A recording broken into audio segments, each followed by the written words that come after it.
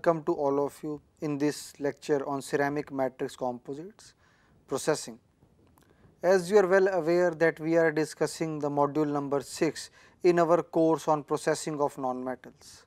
We have seen different types of materials and the processing techniques for different types of materials which have non-metallic properties. Now we are discussing an important aspect of materials which are basically used for high temperature applications that is ceramics and ceramic matrix composites. So, the basic aspects of ceramics we have already covered in a previous module and in this particular module our focus has been on ceramic matrix composite. If you remember in the previous lectures we have seen that what is the basic philosophy behind developing the ceramic matrix composites because most of the applications are being met by the monolithic ceramics also. So, why do we need to reinforce the monolithic ceramics with different types of reinforcements in order to get the ceramic matrix composites that we have already seen in our previous lectures in this particular module only. We have also compared the metals and the ceramics that metals which important properties they possess and ceramics what are their specific properties which make them applicable in certain applications. And then we have seen that there are different types of toughening mechanisms in ceramic matrix composites. Our focus has been on the basic aspects or the fundamental aspects of ceramic matrix composites and also we have seen mechanical properties of the ceramic matrix composites.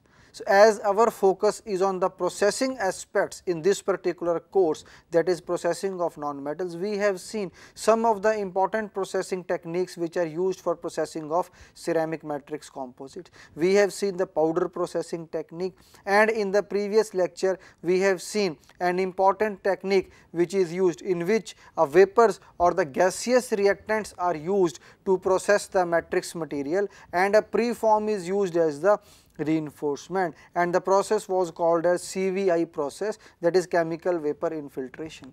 So, CVI process the details we have seen that how the process actually takes place, where the preform is kept, what is the basic construction detail of the reactor that we have seen in that lecture and also we have seen a modified CVI process in which the gaseous reactants are forced through the preform. And a temperature gradient is established. And the preform basically has a top layer and a bottom layer. Basically the total preform can be divided into hypothetically into two zones. One is a heated zone which is close to the heating chamber. And then there is a cold zone which is away from the heating chamber and we have seen that the reaction or the deposition of the solid matrix takes place near to the heating chamber and then this particular deposition travels from top to the bottom. Why? Because the thermal conductivity increases of the preform and the porosity decreases. The porosity decreases it means that the deposition is taking place in the vacant spaces all around the reinforcement. So, basically we have seen that there is a modified CVI process which is used for processing of ceramic matrix composites in which we have a forced flow of the gaseous reactants and a temperature gradient is established. Two important points to note in the context of the preform is the thermal conductivity of the preform and the temperature gradient in the preform as well as the change in the porosity of the preform. So, that was the end of our previous lecture of CVI and today we are going to see certain other processing techniques which are used for processing of ceramic matrix composites. So, basically the idea of giving this introduction was that in case of ceramic matrix composite our main aim is to combine the two things together.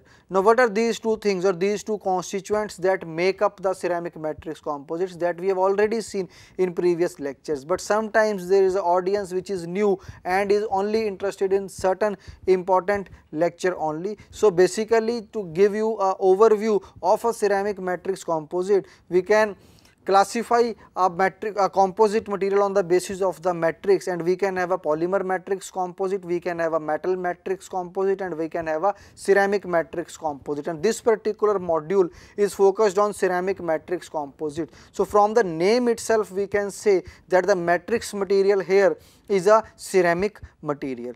So basically we have a matrix which is ceramic and we have a reinforcement which can be any type of a fiber. So, it can also be made up of ceramic fibers. The reinforcement can also be a ceramic, the matrix can also be a ceramic and we will get a composite of a reinforcement and the matrix which in this particular case would be a ceramic matrix composite. So, in CVI process we have seen in previous lecture that how the reinforcement and the matrix are combined together to get a composite material specifically the ceramic matrix composite material and today we will see few important techniques like slurry impregnation and liquid infiltration. Two important processes we are going to study today. With the help of diagrams we will try to understand that how the two things the matrix and the reinforcement are combined together to get a composite material. So, our focus today would be the liquid infiltration and the slurry impregnation. If you remember we have seen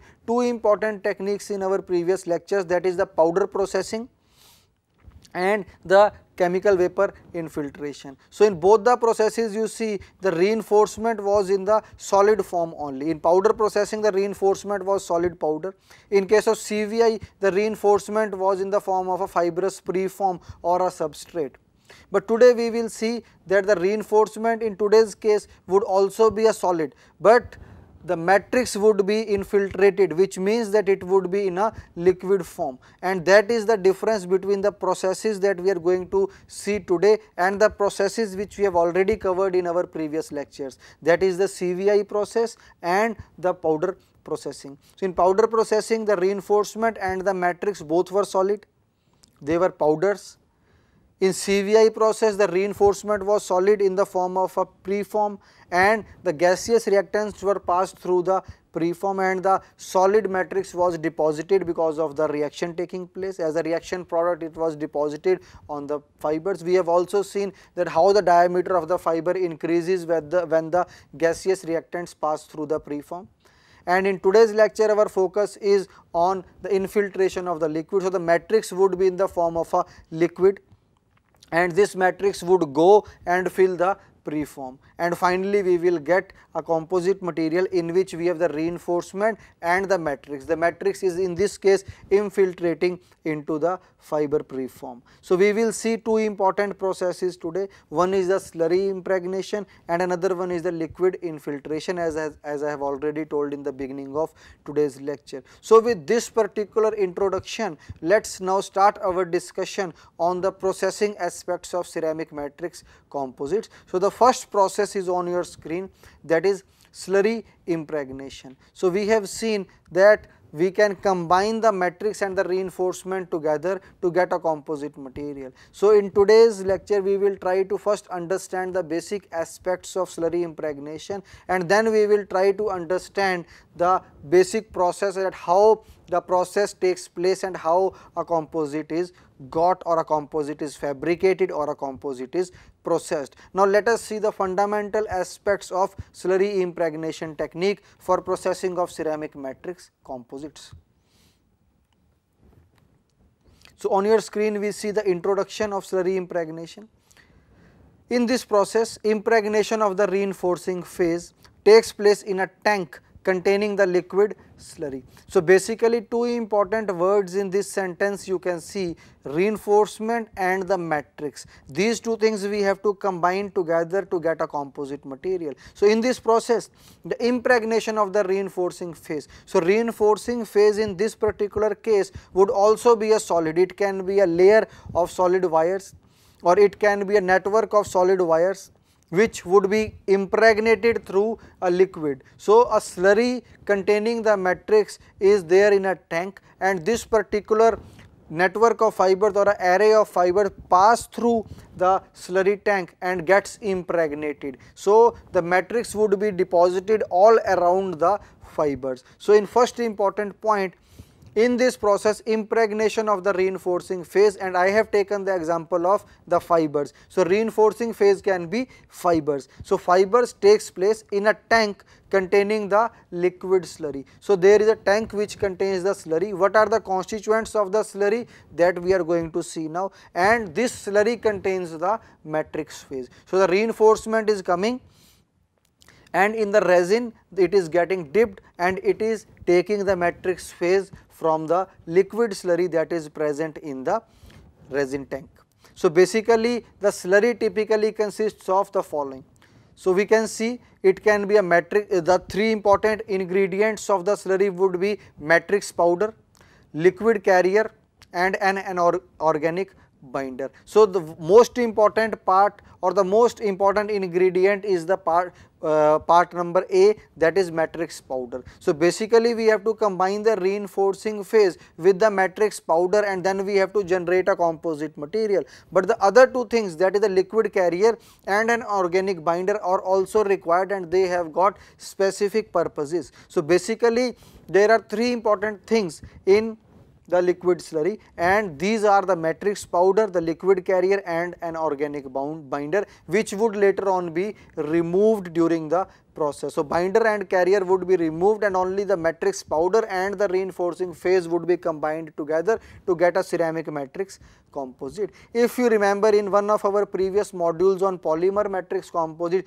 we have seen a process which was called as uh, resin transfer molding and we have seen a process which is called as filament winding. So, in filament winding if you see if you remember the fibers are coming and they are getting impregnated in the resin tank. So, the polymer is kept in the resin tank and the fibers are coming from the fiber spool and they are getting wet or impregnated in the resin tank. So, in this filament winding process we are this process in case of ceramic matrix composites is quite similar to the filament winding process that we have seen. And the second process that I have told in the very beginning today that is the uh, liquid infiltration is quite similar to the other process I have just named for polymer matrix composite that is the resin transfer molding. So, basic mechanism is to combine the resin and the reinforcement together.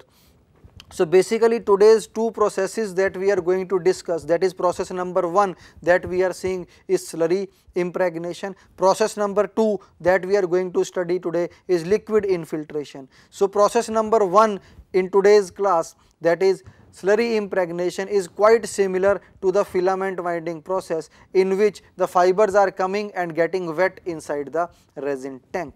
And the process number 2 that is liquid infiltration that we are going to study in the subsequent slide is similar to the resin transfer molding. So, basically the mechanism in all the processes that we are using for processing of non-metals is same specifically when we talk about the composite materials because in composites our main aim is to combine the reinforcing and the matrix phase together and the basic uh, methodology can be same the materials can be different. So, it is important to understand that what are the important tools and techniques which are used for combining the two phases together. So, here we can see that we have a reinforcing phase which we are impregnating with a liquid slurry. The slurry is contained in a tank and when this will get impregnated we will have a matrix powder all around the reinforcing phase and there are subsequent other steps which have to be followed in order to get a ceramic matrix composite. But at this point it was important because there can be a confusion that the same thing is happening in case of polymer matrix composites also in filament winding. So, we should try to distinguish the two things together although the process mechanism is same, but there is a difference in the type of materials and the type of processing conditions that are subjected to when the process is taking place. Various parameters as I have already told are different in the processes that are used for polymer composites and the processes that are used for ceramic matrix composites. So, the various parameters such as the particle size distribution because the matrix powder is present inside the slurry. So, what is the size or the distribution of the size there can be some particles which can be larger in size, there can be some particles which are smaller in size. So, the particle size distribution is one parameter binder type and amount as we have seen that there are three important ingredients in the slurry. So, the binder type and amount is also important what should be the type of the binder what should be the amount of the binder in the slurry then the powder content the amount of powder that we have to put inside the slurry is also important. Carrier medium the carrier medium that we, we are using in the slurry that is also important.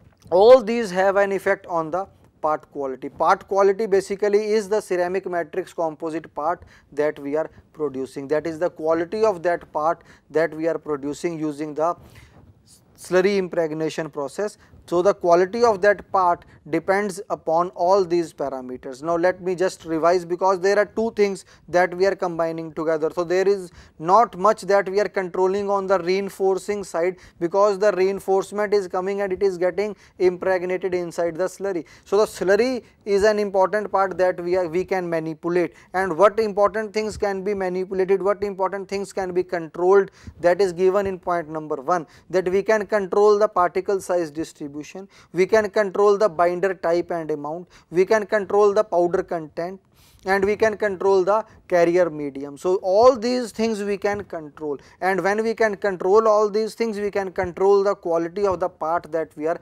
manufacturing. So, it is important depending upon the specific requirements for which we are making the ceramic matrix composites we have to choose all these important points very very carefully. So, all these important operating conditions have to be chosen very carefully or the operating variables have to be chosen very carefully. So, thorough impregnation is obtained. So, this is one important guideline that is thorough impregnation is obtained when the size of the matrix. So, size of the matrix because the matrix in this case is in the form of the powder. So, the size of the matrix is the size of the matrix powder. So, the Thorough impregnation is obtained when the size of the matrix powder is smaller than the fiber diameter. So, this has been established as one of the important points and is available in the literature which in turn results in reducing porosity. So, the important point to note here is that the size of the matrix powder should be smaller than the fiber diameter. So, this is important and this results in reducing the porosity. Basically, we want in certain cases we require the porosity in CMC products, but in many cases we may not be requiring the porosity and we want to control the porosity, we want to have a very dense product. So, therefore, sometimes when we have to control the porosity, we can very easily follow this guideline. So, I am again reading the guideline for you. The guideline is that thorough impregnation is obtained when the size of the matrix powder is smaller than the fiber diameter. So, we in this case the reinforcement that we are using is in the form of fibers and this results in reducing the porosity. So, this is a specific case in which the reinforcement is in the form of the long fibers and the size of the particle or the matrix powder should be smaller than the diameter of the fiber. So, this is the important guideline which has to be kept in mind. Next important point that is infiltration into the fiber preform can be improved by adding some wetting agents. So, in many cases certain wetting agents may be used so that the in, in infiltration or the impregnation is better. So, in this particular case we can use different types of wetting agents. After infiltration the liquid carrier is allowed to evaporate. So, as I have already told there is a carrier, there is a binder and there is a matrix powder. So, matrix powder finally has to form the matrix phase in the ceramic matrix composite. So, the matrix powder is one thing that will remain. The other two things that is the carrier medium and the binder has to go during the process. So, in this particular point second point on your screen the liquid carrier is allowed to evaporate. So, the carrier will be later on when the we can say we have already passed the reinforcement through the liquid slurry and we have been able to get our pre-preg or the preform we would allow the carrier to evaporate. The resulting pre-preg as I have already told. The resulting prepreg can then be layered laid up onto a tool for consolidation. So, depending upon the final shape that we want, we will design a tool and on that tool we will use these prepreg that we have got. Now, what is a prepreg basically? Because this is a new term that is coming in this particular module. Otherwise, prepregging we have already seen in our lecture on ceramic mat oh, sorry in polymer matrix composites in that particular module we have seen what is pre-pregging. So, pre-pregging has already been discussed, but since it is coming in this particular lecture pre-preg basically is now a combination of the fibrous reinforcement and the slurry which has been carried by the fibrous reinforcement. So, the two things have combined together the fibers and the liquid slurry. The slurry and the fibers when they have combined together they have solidified it is called a pre-preg. Now this particular pre-preg would be further used for making the ceramic matrix composite product. So important point is that we should understand what is a pre-preg.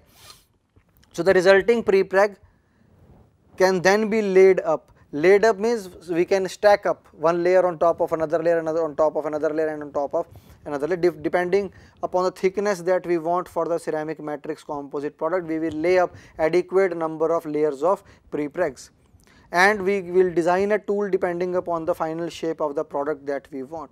The organic binder must be burned out before starting the consolidation. So, the Second point is clear that the liquid carrier has already evaporated, the binder also must be we can say removed. So, the binder must be burned out before starting the consolidation process. So, only now after the burning out of the binder the things that would remain would be the matrix powder and the reinforcing fiber. So, we have a matrix powder and the reinforcing fiber and these we will consolidate and we will get our final product. So, now let us try to understand this particular phenomenon, this particular process with the help of a very simple diagram.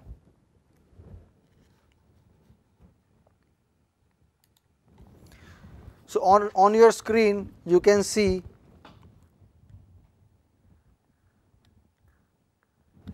this is we can say the fibers the fibers are coming. This is not an individual fiber, this is we can say a bundle of fibers or a network of fibers or a layer of fiber that is coming. Now, this is our slurry tank. So, we already know that what is there in the slurry tank. There is a matrix powder, a binder and a carrier medium. So, this is our slurry tank we can say it is filled up to this point. This is a slurry tank and from the slurry tank now this impregnated fiber network is coming.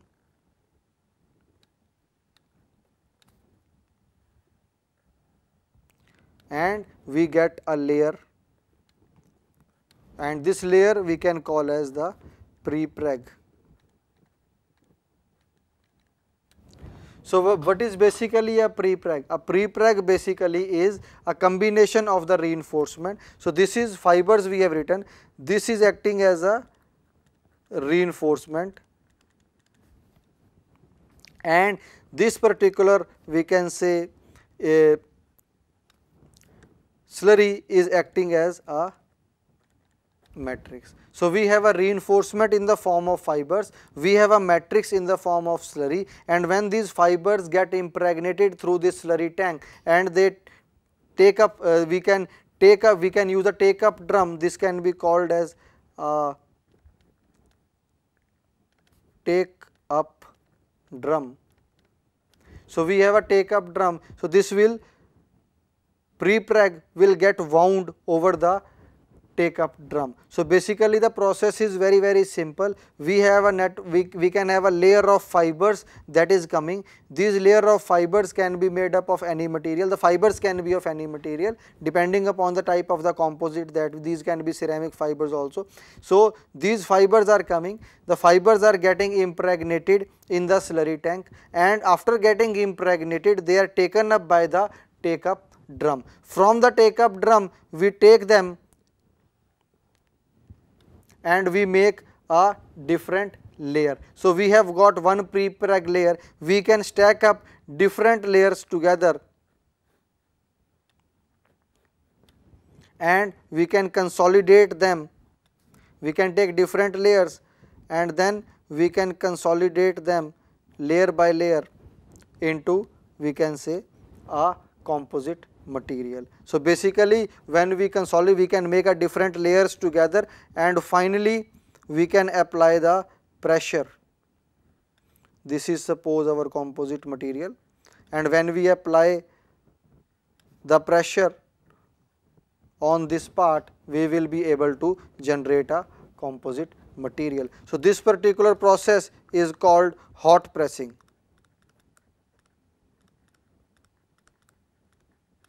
And at this stage we have the binder burnout which I have already told and this we can say this is the stacking of layers and this is a individual prepreg that we have already seen. This is a prepreg. So, again let us see what is the process like. In this we have fibers which act as the reinforcing phase. The fibers move and they are impregnated by the slurry which is kept in the slurry tank. The ingredients of the slurry all of us know now.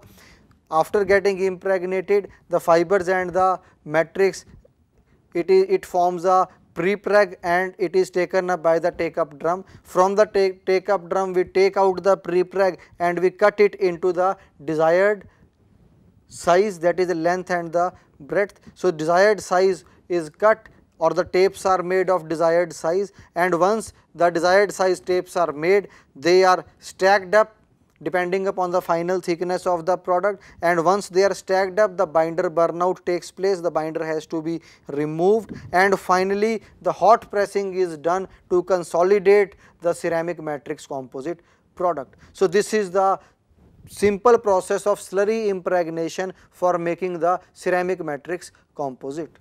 So, let us see a diagram for this particular process So, before going to the diagram, let us see that what are the important processing stages. So, slurry impregnation process involves two main stages as we have seen in the diagram. Stage 1, the incorporation of the reinforcing phase into a slurry of the consolidated matrix. So, basically we have to combine the two things together that is the reinforcing phase and the matrix phase. So, in the initial 2-3 steps when the fibers are coming and getting impregnated in the slurry tank and then this combination of reinforcing phase and the slurry are taken by the take up roll and a pre-preg is formed that is the stage 1 in which the incorporation of the reinforcing phase into the slurry of consolidated matrix is taking place. And after that when we are cutting the pre-preg depending upon the final dimensions of our product we are stacking up the different layers and finally the hot pressing is done that falls under the stage 2 that is the matrix consolidation by hot pressing. So, we are cutting the pre-preg stacking up the different layers of the prepregs together and finally doing the hot pressing. So, that is the stage 2. Now, let us again see which are these stage 1 and stage 2 with the help of a diagram.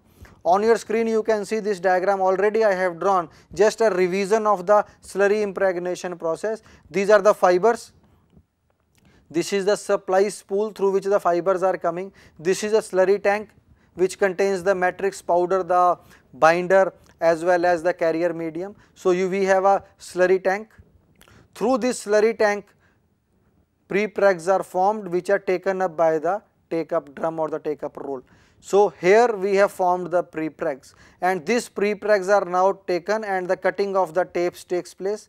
Different tapes are cut depending upon the desired thickness of the final product and finally stacking of the take, uh, tapes takes place, different layers are stacked up together. Finally, the binder burnout, the binder is removed and the last process is the hot pressing. This is the composite that we are forming, the, that is the hot pressing of the composite layers. So, basically we are now forming a ceramic matrix composite. So, here we are having the fibers and the matrix powder, it has been combined together to make a composite material. So, this is a we can say important process for processing of ceramic matrix composite materials. So, each process will have certain limitation and certain advantages. So, now we will try to see that what are the important advantages and limitations of the slurry impregnation process. By now we have understood that what are the basic process details of the slurry impregnation process what is the reinforcing phase, what is the matrix phase, how the matrix phase is incorporated with the reinforcing phase, what are the important steps that are that have to be followed in order to make a ceramic matrix composites by the slurry impregnation process all that we have already seen. Now let us see that what are the important advantages and limitations. So, on your screen you can see the advantages of the process. First is in this particular case we will get low porosity.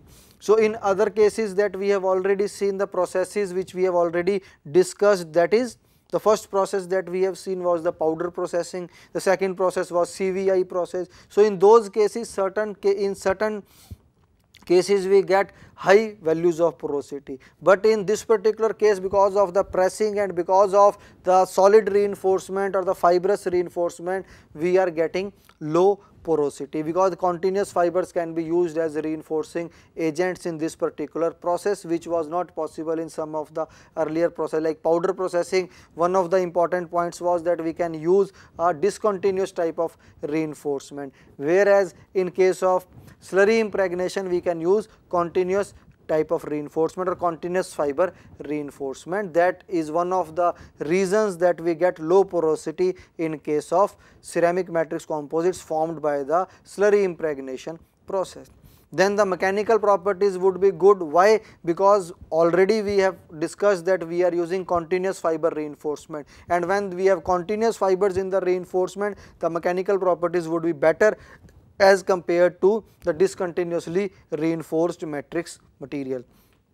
Third important advantage is the composites with uniform fiber distribution can be processed because a continuous well arranged network of fibers is being used as the reinforcement. Therefore, the uniform fiber distribution can be processed. If we use the discontinuous fibers as the reinforcement, in many cases we may not be able to get the uniform distribution of the fibers which may in many cases lead to failure of the components. So, in this particular case since continuous fibers we are using their therefore, the uniform fiber distribution is one of the advantages that we can achieve. Now, let us see what can be the disadvantages of the process.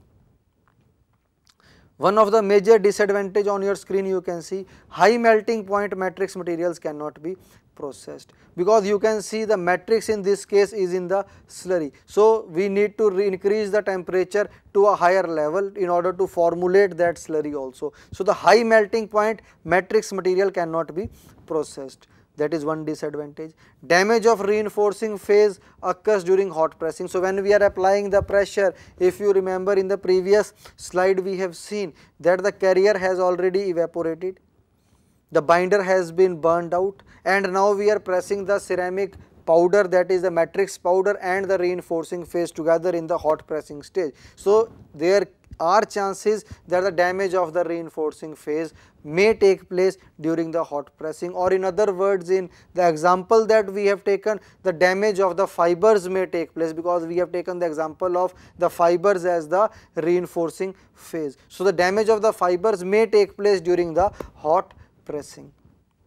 Next point on your screen is the relatively small and simple parts can be fabricated. So, you can see the last stage of the processing technique is the hot pressing and hot pressing in order to get a uniform pressure we can we need to design the products or design the parts which are made by slurry impregnation process which are simpler in nature. So, if the parts are very very complex or the parts are of very large size then the pressure requirements would also increase for large sized part. So, relatively small and simple parts can be fabricated using this particular process. So, basically we can see that there are many advantages of the process, but there are certain limitations also which have to be overcome in order to make this process more versatile and more applicable specifically in case of ceramic matrix composites. So, till now let us see what we have covered. We have just taken an introduction of today's lecture. Then we have seen one of the important processing techniques which is used for ceramic matrix composites that is slurry impregnation. And in slurry impregnation we have tried to understand the fundamental aspects. We have seen that what is a slurry what are the important constituents of the slurry and then with the help of a diagram we have tried to understand the process details that how the process actually takes place i have drawn a diagram and in that we have seen that what are the important stages of the process of slurry impregnation. Now we will see the second process that is liquid infiltration and try to understand that what are the process details in liquid infiltration. As I have already told if you if you remember in today's lecture itself that liquid infiltration is quite similar to the resin transfer molding process that is used for processing of polymer matrix composite. So, the basic principle is same, but the materials that we are processing is different. Let us now try to see the process of liquid infiltration. So, in liquid infiltration we will try to understand it with the help of a diagram, but the major issues that are involved in liquid infiltration are First one is the chemical reactivity. We will try to understand this what do we mean by chemical reactivity, but let me first outline all the important points. Second is the melt viscosity and the last is the wettability of the reinforcement. If you remember in the slurry impregnation process we have seen that sometimes wetting agents are also added in order to improve the interfacial properties of the reinforcement and the matrix. So, basically important point to note here is the issues involved in liquid infiltration process. Now, let us address these issues one by one. So, the first issue is of the chemical reactivity. So, the chemical reactivity means as we will see that this is done at a elevated temperature, the process temperature is higher or the process is done at an elevated temperature. So, that at that at that particular temperature there are chances that the reinforcing phase and the matrix phase may react and there can be some unnecessary reaction that may take place which may not result into the proper bonding of the reinforcement and the matrix and may lead to the failure of the product made by this particular process. So, one important point is the chemical reactivity between the reinforcing phase and the matrix phase at the elevated temperature. Second point is the melt viscosity. So, we will see the melt viscosity of ceramics is quite high as compared to that for that of metals and therefore, it may so happen that the ceramic infiltrant may not be able to properly make a matrix inside the fibrous preform or the ceramic preform. So, in this particular case also we will have a preform and the liquid matrix would try to impregnate or would be forced to impregnate the preform. But because of a very high melt viscosity there are chances that the problems may arise.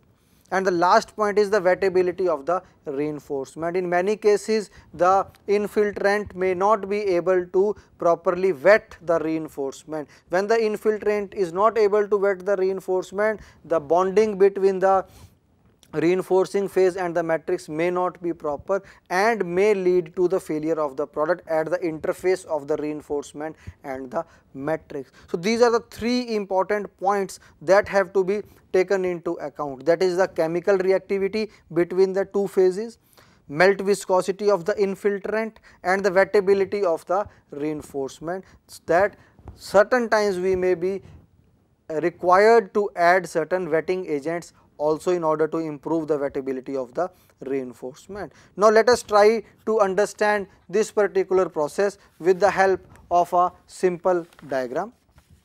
The process is very simple. On your screen you can see there are heating coils which are used to generate the heat. This is one heating coil, then we have another heating coil these are the two heating coils and inside we have kept a preform.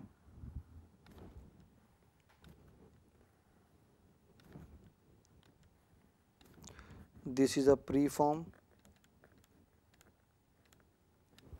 We have the heating coils and then we have a infiltrant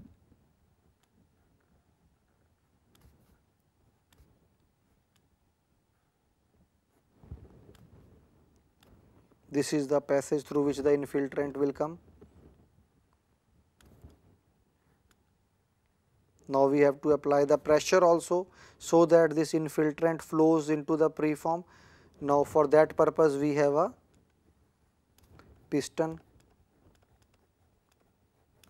So this piston will apply the pressure. So we have a closed chamber in which the reaction is taking place.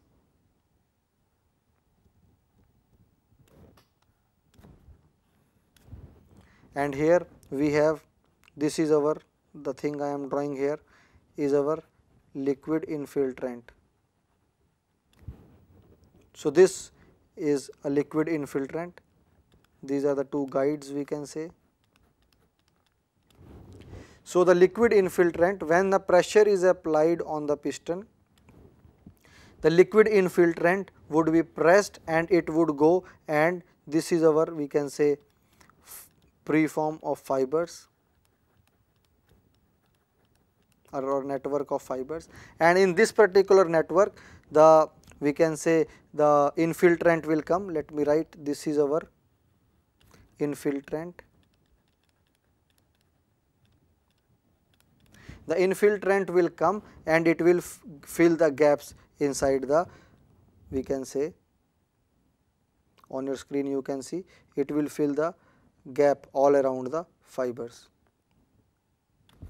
And it will we can say form a matrix phase. So, basically what is happening? We have infiltrant which is a liquid and then we have a reinforcement which is in the form of a network of fibers. And when the pressure is applied this infiltrant infiltrates into the preform and in this particular preform it occupies the spaces which are there between the fibers and forms the matrix phase. So, basically in all the processes that we are using for making of polymer composites or ceramic composites or any form of a composite material our major aim is to combine the reinforcement and the fibers together. So, here the reinforcement is in the form of a preform which is kept on your screen you can see the reinforcement. This is the reinforcement. And the matrix is the infiltrant. So, we have a reinforcement. The matrix is in the liquid form. It is pressed from with the help of the piston. The piston presses the infiltrant into the preform and it occupies the vacant spaces inside the preform and acts as the matrix phase. So, this is a simple process, but it has also got certain advantages and disadvantages that we are going to see now. Let us first try to understand this with the help of a diagram. On your screen you can see a very simple diagram as I have already drawn. We have a piston, a pressure is applied on the piston, this is the infiltrant with the help of this arrow it has been shown infiltrant. Now, this particular infiltrant when the pressure would be applied on the piston, this infiltrant would travel and fill the preform. So, preform is basically a network or array of fibers which has been made together depending upon the design of the final product and this particular process is called the liquid infiltration process. So, the process is fairly simple and here we have the two red columns indicate the heating coils. The process takes place at elevated temperature. Now, let us try to understand that what are the advantages of liquid infiltration process. So, the major advantage is the matrix of homogeneous structure can be processed. So, if we have seen in the previous process that the matrix powder was combined with the carrier medium, it was combined with the binder, but in this particular case a matrix of homogeneous structure can be processed. The matrix can be formed in a single process processing step. In previous uh, example or previous process we have seen that is slurry impregnation there are number of steps involved, but in this particular case the matrix can be formed in a single processing step.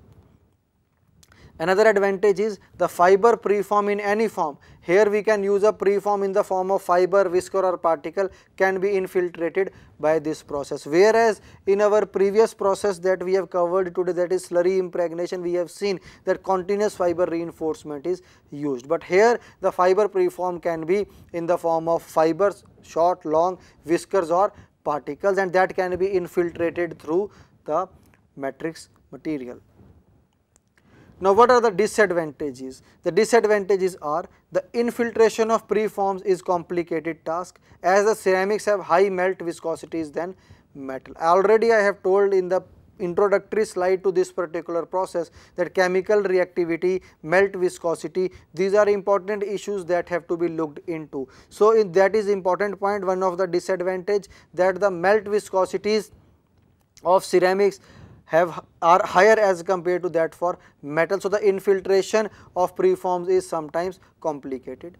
The differential shrinkage between the matrix and the reinforcing phase causes crack propagation during solidification. So, the shrinkage would be different there are two phases now and you have seen in the diagram there are heating coils. So, the process is taking place at an elevated temperature and when the shrinkage would take place between the matrix and the reinforcing phase there are chances that the cracks may be formed and important point is to properly optimize the process so that the crack formation is nullified or minimized. Last point on your screen you can see high melting points of ceramics results in greater possibility of reaction between the liquid matrix and the reinforcement which was also an important point in the very first slide that is the introductory slide for this particular process that is the reaction chemical reactivity. So, the high melting points of ceramics we can see the reinforcing phase is a we can say a preform the preform is made up of fibers but basically the uh, matrix is a ceramic matrix and it is in the liquid state. So, we can say the very high temperature is required to melt the ceramic material. So, the high melting point of the ceramic that is the matrix material basically we are combining the two things together the matrix and the reinforcement. The reinforcement has been kept in the form of the preform. So, we are not melting the reinforcement but we are basically melting the matrix. So, the matrix is a ceramic matrix. So, when we are melting a ceramic all of us know that ceramics have high melting point. So, the high melting point of the ceramics results in greater possibility of reaction between the liquid matrix and the reinforcement. So, that reaction sometimes may not be advantageous and may have may act as a disadvantage in the processing of ceramic matrix composite. So, basically we have seen that the process details are fairly simple, but there are many control parameters that have to be kept in mind and the process has to be controlled properly so that we are able to fabricate a good quality ceramic matrix composite product using the processes that we have covered today. Both the processes the process details or the process mechanism are not very complicated, but there are important parameters that have to be controlled in order to make these processes applicable for a specific set of ceramic matrix composite materials. So, with this we come to the end of today's discussion on processing of ceramic matrix composites. Just to have an overview of what we have covered today, we have seen the introduction of what has already been covered in this particular module. This particular module focuses on processing of ceramic matrix composites. In our previous discussions, what we have discussed that was revised. Then we have seen two important processes that is the slurry impregnation and the liquid infiltration. So, we have tried to understand with the help of the diagrams that how the process takes place and we have tried to highlight that what are the important advantages and limitations of both the processes. In our last lecture in this particular module our focus would be to understand or discuss some more processes which are used for processing of ceramic matrix, matrix composites and we would end the module with a discussion on the post processing aspects of the ceramic matrix composites. Thank you.